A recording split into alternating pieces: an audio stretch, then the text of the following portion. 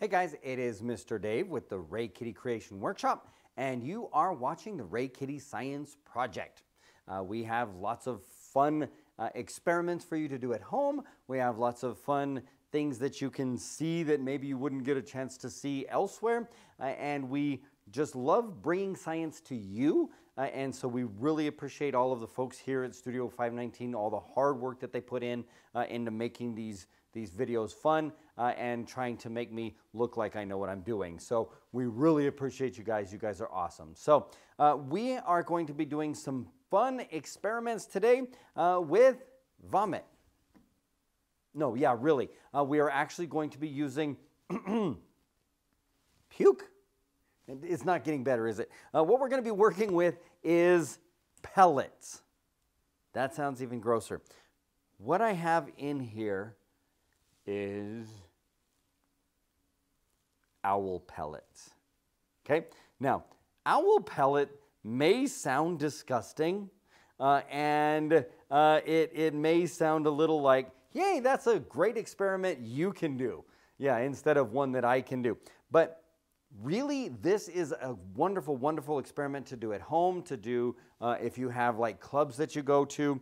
Uh, owl pellets are, are very, very very interesting. Okay, this is one of my favorites. Around my house, this is one of my favorites. If I do order these to do for a class, I always have to order extra uh, for my girls at home. Uh, my girls will actually make jewelry out of owl puke. Now, uh, that all sounds nasty until we get a little bit into the science of it, okay? Now, owls uh, are not, um, they don't take little tiny uh, petite bites of things, okay? If you've ever seen an owl get after an animal, it eats it. Like it pretty much will take that little mouse or vole or whatever it is uh, and devour that thing pretty much whole, okay? And what happens inside the owl's stomach is that the owl's stomach crushes the item, we'll say item, uh, and squeezes out the material uh, so that it can digest uh, all of the nutrients from that animal. Now, it can't digest the entire animal. There are things that um, the enzymes don't break down. And those things are the same as maybe your cat at home. Okay? Uh, if you've ever been uh, lying on your bed in the middle of the night and all of a sudden you hear hit, hit, hit, you, and you wake up as quickly as you can uh, and kick the cat out of the room as fast as you can because you know your cat is going to regurgitate an owl, or not an owl pellet, hopefully, uh, but your cat is going to regurgitate a hairball, right? Uh, now, a cat usually gets its hairball. Most of our cats, domesticated cats, eat nice little kibble bits so they don't have a lot of bones and beaks in there, uh, but they also clean themselves. And when they do, they can't digest that hair, so their stomach does about the same as an owl. It mashes it into a pellet and they regurgitate it. Now, I know that makes you much less interested in seeing what is inside of this little ball here. Now, you can purchase owl pellets, meaning, yes, I ordered puke on the internet and they sent it in a box in the mail.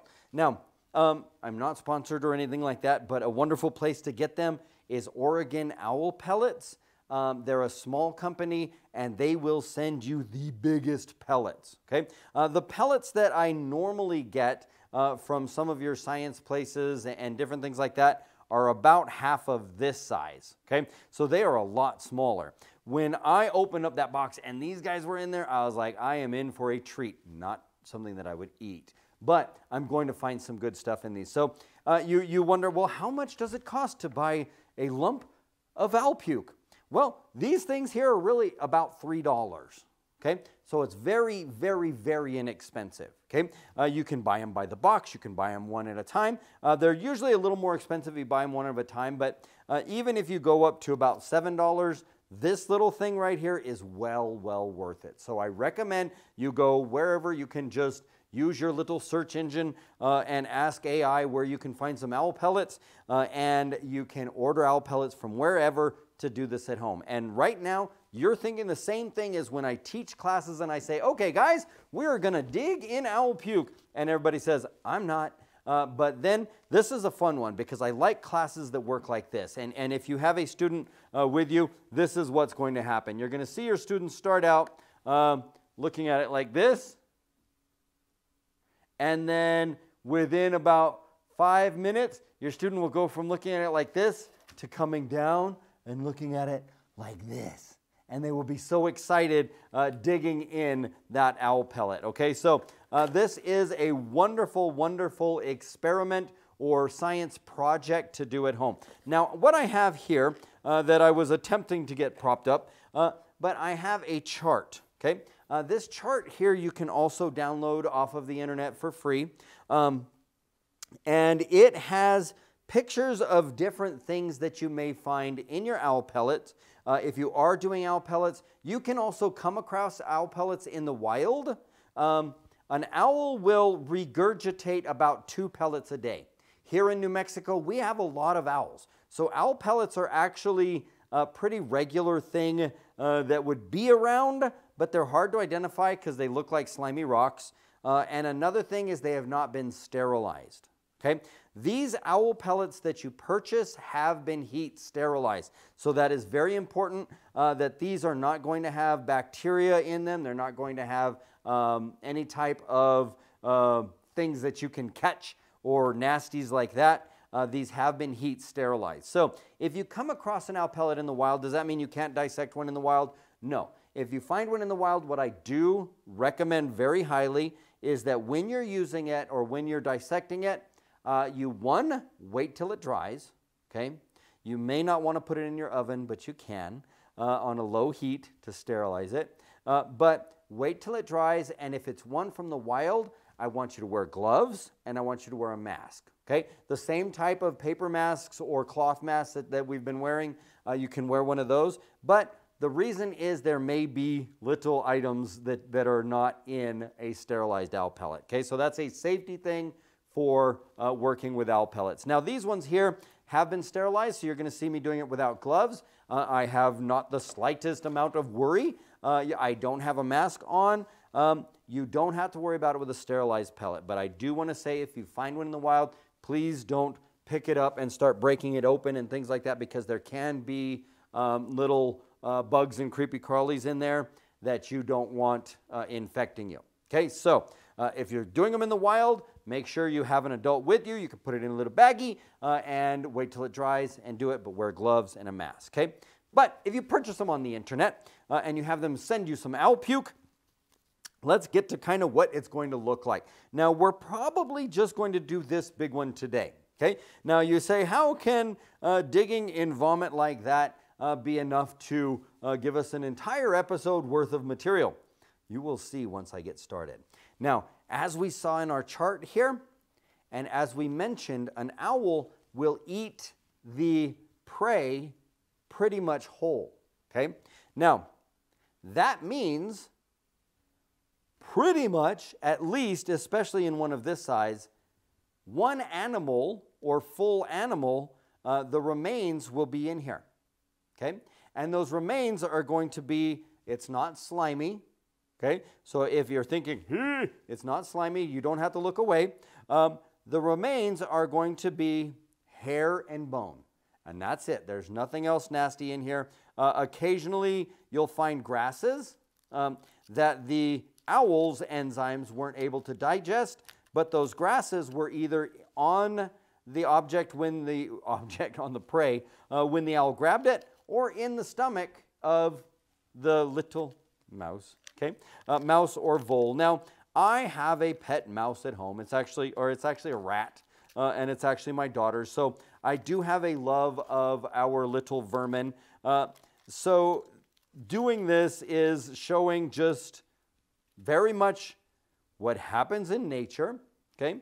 Now, I'm going to just show it off before I break it up here a little bit. Uh, you can see that we've got some uh, harder type material here uh, and the rest of it looks kind of like a mud ball. Okay, and that's why these are harder to find. Uh, when you purchase them, they actually have an owl farm where they take care of owls, uh, and so they know what the owls are eating that are in that area, uh, and they will collect the pellets that way. Okay, so we have our owl pellet here, uh, and we're going to kind of dig in. Now, you want to be gentle, okay? Uh, it's not super fragile, uh, but you don't want to fracture too many of the bones that are in here because we're going to be identifying some of those bones and seeing if we can find some of the things on this chart in our little owl pellet. Okay, so what I have as far as tools is I have some tweezers, okay, uh, and I have uh, some, this is just the end of a skewer, uh, and this is another part of a skewer. Okay, so we have our tweezers and our skewers, and we're just going to kind of poke in uh, and open up our owl pellet. Okay, now, now we've opened it up. It looks like uh, just some kind of hair. This is mostly hair that you're seeing in here. Uh, we're seeing something interesting. That part that I want to show you was that lighter part on the side here. What it actually looks like it may be is feathers, okay, uh, that we saw on the outside. Where was that part? Yeah, right here, okay. So we're going to go ahead and pull that part off and see if we have a wing, okay. So we're going to dig into our owl pellet. Now remember, because they eat the animal whole, uh, if you find a part that you're identifying, um, you'll, if you find one part and it is a vole, or it is a rat, or it is a, a certain type of animal, it's more than likely the rest of the parts that you find are going to be from that same animal. Now, you may find more than one animal in a pellet, okay, uh, but the parts that you find will probably be from that same animal. Now, if we look here, we can see that I've got something showing up here, okay? So we're going to separate this up. This is the fur. Now, if you're doing this, if you've got an owl pellet, don't throw away this scrap fur, right? Because this scrap right here could be full of lots of teeth and lots of fun little things that you can find in that pellet, okay? So as I open this up here, what I have here is a little bone, okay? Now this bone here, uh, I've got a a bump on one side, I can identify it on that chart already just because I've done this before. Uh, and then I've got two little knobs here. So if you look on our chart and I were to turn it, I'll hold it with the tweezers, like this, you can see on that chart there uh, that we actually have, that is the hind limb of a rodent, okay? Rodent could be a rat, could be uh, all different types of rodents, okay? And what we're going to do is we're going to put these little bones on here and we're going to look at them under the microscopes in a few minutes. Okay, so we're going to collect a couple more out of here before we do. Uh, what we're hoping to find, kind of the golden, uh, if you find all of the treasure, is to find a skull, okay? Uh, and you will pretty often find a skull if the animal was in there. Now, the times that you would not find the skull is if it were crushed, uh, but normally you will find the skull in there, okay? So we're going to go through this piece, just kind of a precursory. I've got another little bone here. Uh, that is, um, that's actually that other hind limb. Okay, so we're going to put that other hind limb on here. And I'm not going to discard these pieces, but for sake of time, normally if you're doing this, uh, believe it or not, you can dig in this little thing. I will usually give students uh, an hour uh, just to dig through it. Okay? So you can have a lot of science fun and a lot of time having fun with, the, with just one pellet. Okay? So we're to, I'm curious about this thing here though. Uh, let's see. Oh, you know what that is? It's grass. It's, yeah, that's just a piece of uh, some sort of um, organic, like uh, plant material there. So that wasn't anything too exciting. So let's see. So we're going to dig into this one here. And let's see what we can find. I hope, oh, there we go. We've got something fun here. Uh, if you can see, I'm going to pull this part out with my little toothpick. Uh, and we can see on here that we have that whole bump here of that pelvic bone. This is actually the pelvic bone uh, of probably a rodent. It could be a uh, shrew but it's probably just a rodent pelvic bone. Okay, so let's see what else we've got in here. Uh, in this little smaller section here, I've got something larger going on over here. And remember, we're looking for that elusive skull, okay? So we'll see if we find one today. If not, we have some fun pieces that we've found already. Uh, but usually you'll have a skull. I've got another leg bone right there. Uh, and now I can pretty much say by the size of those leg bones, whatever it is, the skull is not in that material. Okay, so that doesn't mean uh, there aren't bones in there, but the skull in itself is not in that material. Now I've got something here. I want to start being careful with it. Now a skull, uh, the skull has got some areas that are fragile. So once you do find one, I don't think this is a skull, uh, but once you do find one, you'll want to be careful with it uh, because it'll usually still have the teeth in it. Uh, and those teeth will slide right out. Just like you lose your teeth, uh, the, the same thing, those teeth uh, they don't have that material to hold the teeth in, so they can slide out very easily. So when you do find the skull, you want to be careful with it. Oh, look at that. We got a big something in here. Uh, these are more leg bones. Now, I don't know how many legs these things have, but this is probably more than one animal uh, that we've got in here because uh, we've got way too many leg bones for one animal. And oh, look, this here is actually a different type. So we know now we have this type of pelvic bone and we had this type of pelvic bone. So in this and in this one pellet, we have a shrew and we have a rodent. Okay, uh, this one here, oh no, I'm definite that this one is a shrew. So they've got a little bit different uh, type of hips there. Uh, so let's see what we can find. So there may be two skulls in here. Uh, I'm not, that's just a little leg bone. Uh, all of these bones, this is a rib. if you get a close up on that one there, that one is a rib. Uh, you can see that there. Uh, so that's one of these ribs here.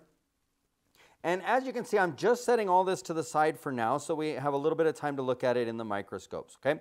Um, and when we're looking at these ones here, we'll probably spend more time uh, in the microscope with a little less magnification uh, because we just want to see um, kind of what's going on there. Now, I just pulled out a big group of ribs. This is like a whole bunch of ribs right here. This is, um, if, yeah, I want my baby back, baby back. This is, I've got a lot of ribs that I just pulled out of there. So I'm actually going to set those over here because they're all going to look the same under the microscope. Uh, so we're not going to see any big differences there. So we're mainly putting on our little tray here the things that we're going to want to check out with the microscope. So this, uh, that was a lot of ribs. I've got more ribs going on in here uh, but I may have something larger in this piece right here. So I'm going to scooch this to the side.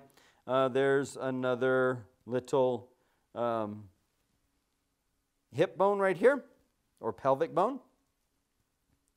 And like I say, we're still searching for that skull. Uh, I don't want this to end up being like uh, when they opened um, the vault and there was nothing in there. So I don't think that'll happen, though. I think we will definitely find at least, oh, I think we may have just found a skull.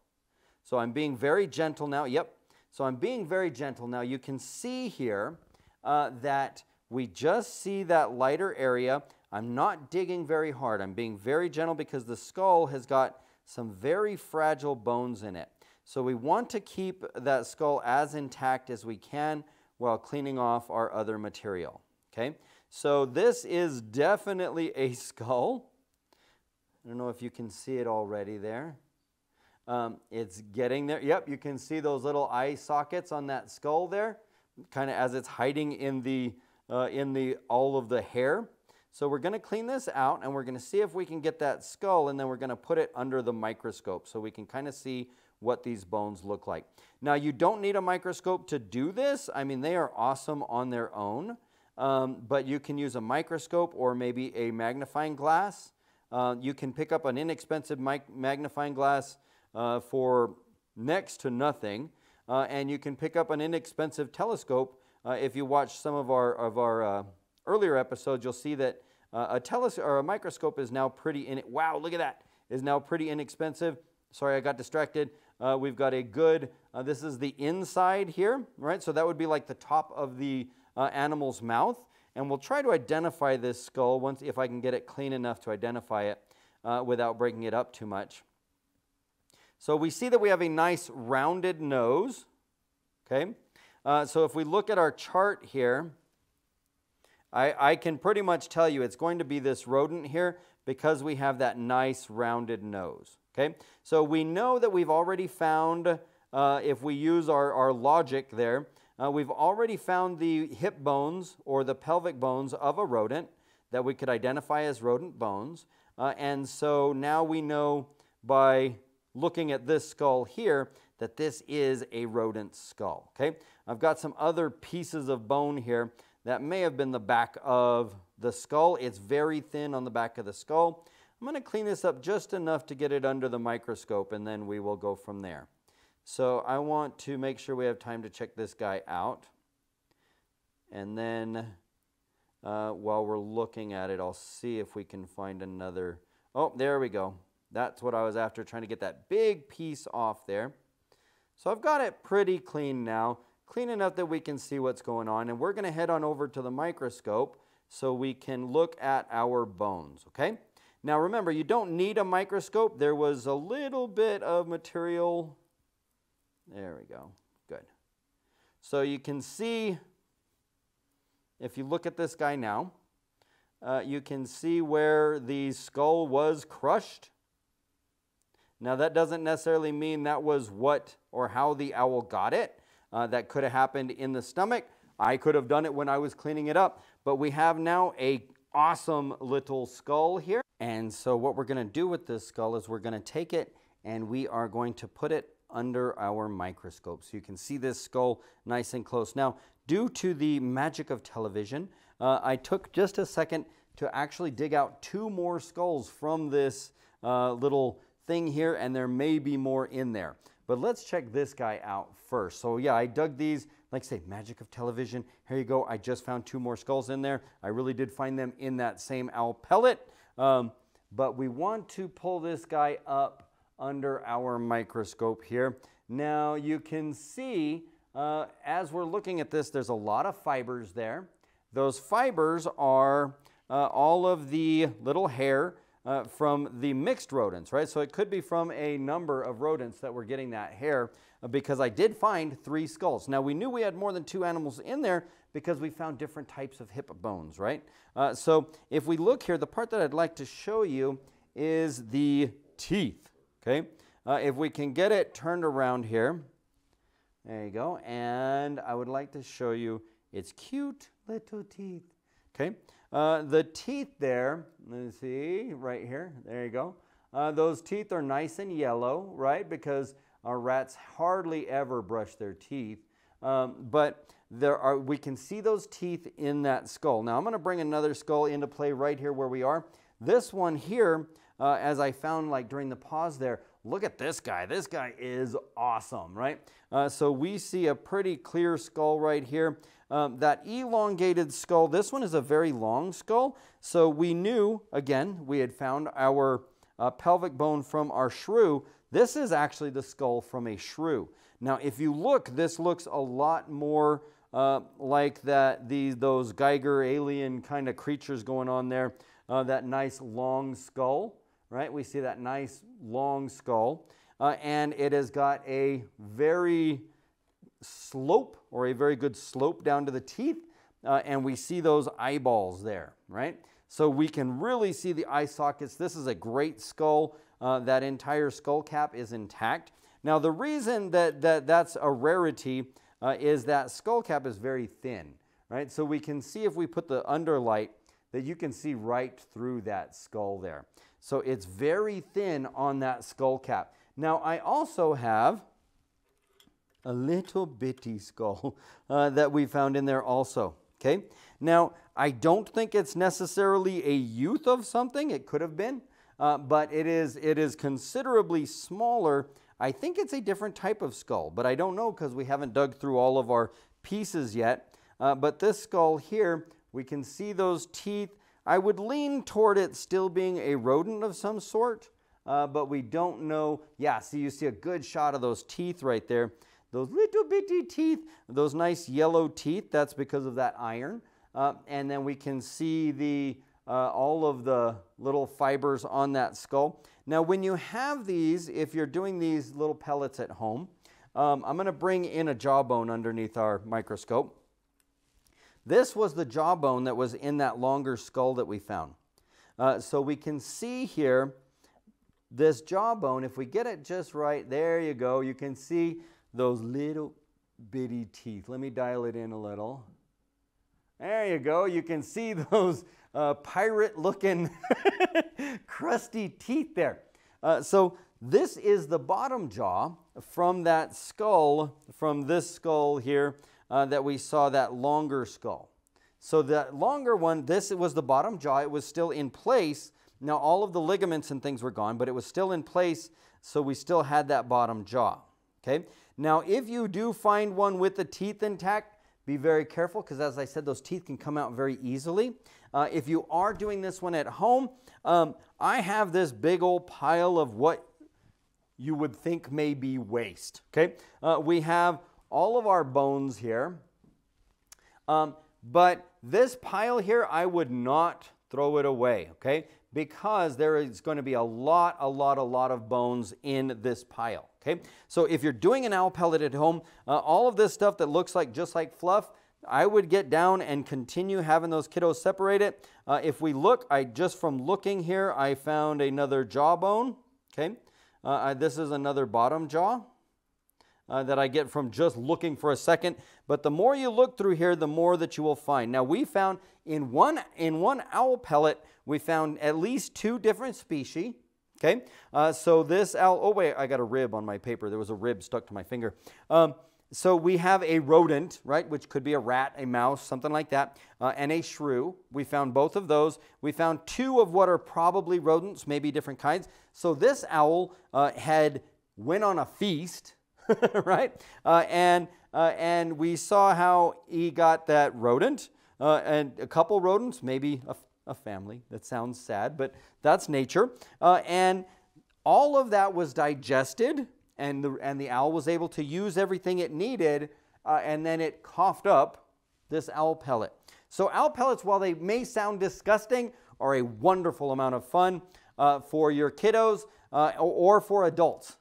we have had adults uh, sitting around digging in owl pellets, and they will get into it just as much as kids. Now, if you want, you can soak this in just water, uh, and most of that material will break off, and you'll have a nice clean skull. Uh, you know, if you want to get more into it, you can look at ways on the internet. But uh, we have a wonderful family of rodents that we have found in our little owl pellet today. Okay? So, uh, thank you for watching the RayKitty Science Project. Uh, and uh, don't forget, science shows you matter.